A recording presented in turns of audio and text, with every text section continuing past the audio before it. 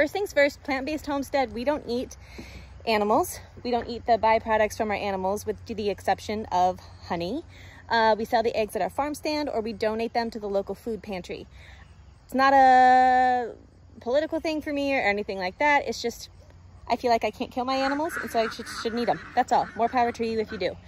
Um, so a couple of things here. Rather than retrofit animals to jobs and say like, oh, I really like this sheep over here. What job can I give it? It's the opposite. It's just like filling a job, a career. What I do is I have a need and I research the best animal to fill that need for me. This ensures that I get the highest quality service from that animal.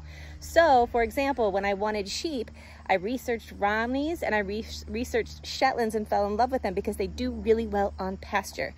They are happy to be on grass, which we have plenty of, and they don't need a lot of supplemental feed to close nutritional gaps. So that's why I got the Romneys and the Shetlands. I got the Clydesdales because I wanted horses that, yes, I could ride, but I could uh, use for pulling.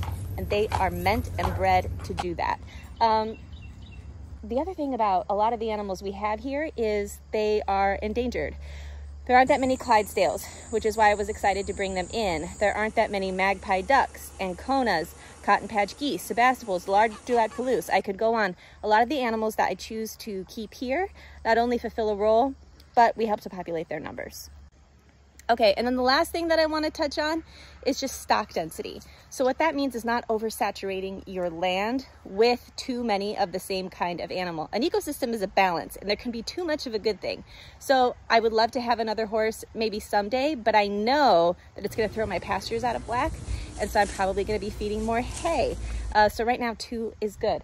We also have the five sheep. I don't really think I need any more. If they lamb, we'll cross that bridge when we get to it. I have no plans to breed my sheep. Um, I don't have a need for goats. One small hoof stock animal serves my needs. So I have uh, grassy vegetation. They take care of that for me. I don't need to bring in goats unless I had a lot of weedy vegetation. Catch what I'm saying? We touched on stock density. If you want more information about that, just Google stock density calculator on Google. I'll also have uh, information on that in my book with regards to pasture management and rotation, the sustainable homestead coming out March 28th of next year, but you can pre-order now. So we talked about stock density.